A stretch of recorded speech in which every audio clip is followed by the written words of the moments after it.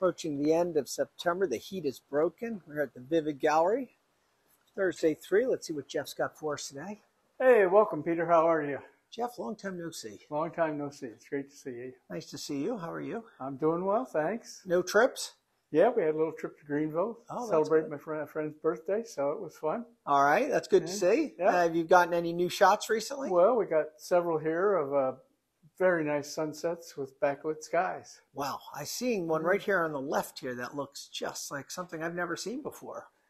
It is that was a spectacular night, and uh, I call that uh, dragon, or I mean uh, gator in the sky.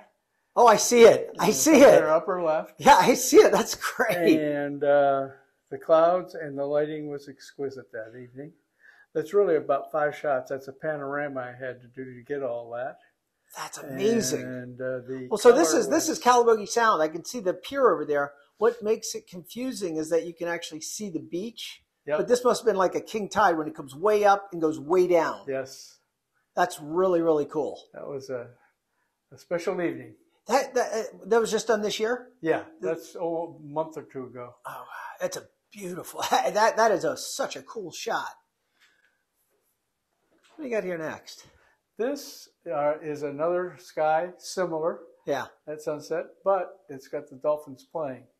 It took me five years to get a photo with dolphins breaching in the water, Well, I was going to say, you and know, this was dumb luck. yeah. Well, the the the back um, sky doesn't stay that way for very long, does it? No, and that's what I was there to take pictures of. In the middle of taking pictures, those dolphins started to jump like that, come out of the water. And I went, oh, gee, just let me get one because I was using my landscape camera that does not have any rapid fire on it. Right. So lucky shot. Oh, it's well, it's great. That's great. You know, I saw some pictures online where they were jumping way up in the air. you Yeah. know.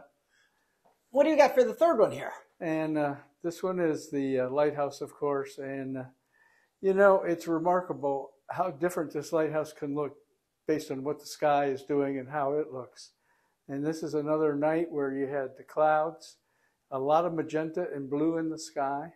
And I did not adjust that sky at all. So what happens now? The sun goes down behind, and then this reflects back up. Is that the idea? That's exactly right. When the sun goes down, it goes down beyond the horizon, and then the clouds are backlit up, and the, you don't know exactly what the colors are going to be. But this night was blue and magenta, as you can see.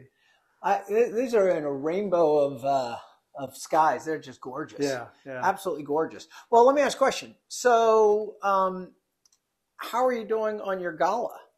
Well, we're doing very well, thank you. Uh, it looks like uh, we've got about half the tickets sold already. Half the tickets, and that's And, October uh, 18th. October 18th, right here in the plaza. These guys are the featured uh, musicians, and it's just going to be a fun night, a big block party.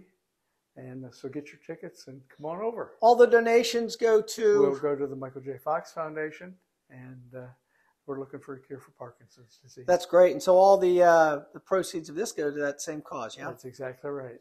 All right. Well, Jeff, I can't wait to see you at uh, these guys, but I'll see you Same here. Take care. Thanks, Peter. Bye bye. Bye.